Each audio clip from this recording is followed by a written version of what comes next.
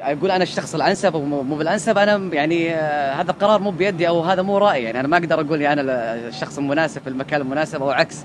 هم في إدارة آه، أو في لجنة آه، شكلت وتم بناء على ذلك اختيار الأعضاء اللي موجودين.